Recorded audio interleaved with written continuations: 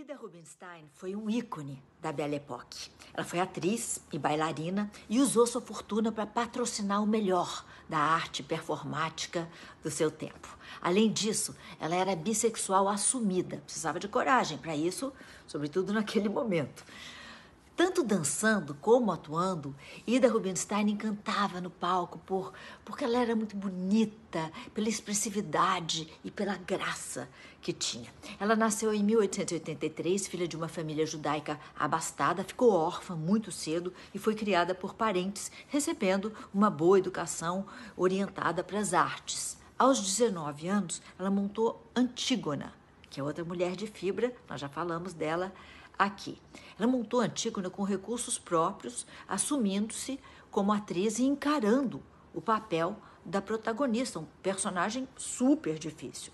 Depois ela passou a se inspirar nos movimentos de Isadora Duncan e decidiu aprender a dançar. Por ter começado tarde, Ida não era uma bailarina perfeita no sentido técnico da dança, mas ela compensava por sua capacidade interpretativa e pela uh, sensualidade e mistério no palco. Fato é que ela virou um sucesso e revolucionou diversas convenções na dança. Em 1909, Rubinstein ingressa no Ballet Russe, que é um, uma, era uma célebre companhia de balé russo com sede em Paris, e ela passa a protagonizar clássicos da dança.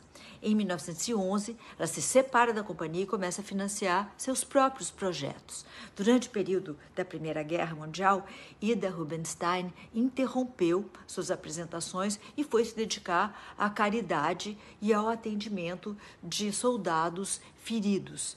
Entre as guerras, Ida subiu aos palcos algumas vezes, mas passou a se dedicar cada vez mais às atividades empresariais nos bastidores da arte. Com a Segunda Guerra, a casa dela é saqueada e ela tem seu acervo roubado pela SS, que é a, a polícia nazista. Nos anos 30, voltando um pouquinho, né? Ela foi é, premiada pelo pelo governo francês com a Ordem Nacional da Legião de Honra. Muitas peças que nós admiramos nas artes do século XX só existem graças a Ida Rubinstein. Ela encomendou obras de Debussy, Stravinsky, Paul Valéry, Romaine Brooks, entre outros.